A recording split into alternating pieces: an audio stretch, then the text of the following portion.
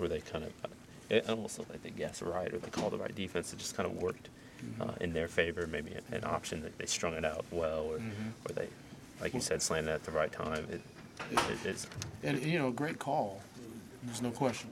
They, they did. They, they ran people over the top outside. They ran hard on outside runs. They slanted on, it, you know, at times when we were running inside runs. If you get one guy that doesn't execute on offense, then it's going to break down, you know. And uh, we didn't have great execution throughout the day. We just didn't.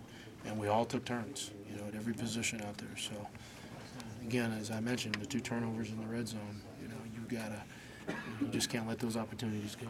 So. I know he, you're not necessarily his position coach, but just your impression of, of Taylor Martinez and, and the way that he was able to. I thought Taylor played pretty well, to be honest with you, from the naked eye. You know, I, mean, I thought he kept his poise. I thought he made some tough throw. I mean, it wasn't the best throwing day weather-wise, you know, the wind and so forth. And the guy, you know, the guy completed uh, 28 out of 37 passes and made uh, made some big throws, uh, made some good decisions, uh, and he and he made some timely runs. Um, the touchdown run was uh, was excellent.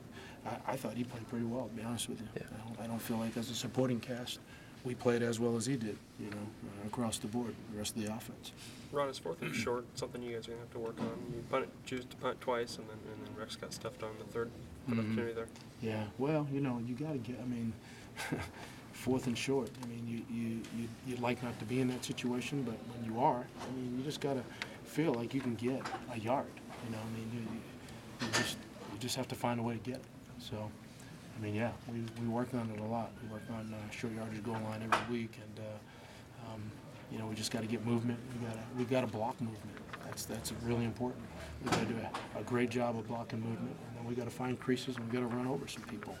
Um, you know, when you get those uh, when you get those opportunities, you got to get one yard though. You got to. It's just the way it is. You, you, you know, our, our goal every week is 100%. We don't want to ever come short.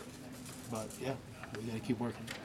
You know, Coach, you you may have touched on this, but what was making it difficult for you guys to, to get a running game going? You know, they, they, they were running hard. I mean, a lot of our outside runs, they ran people over the top real well. They, uh, they, you know, they slanted, you know, they caught us in some slants on some inside runs.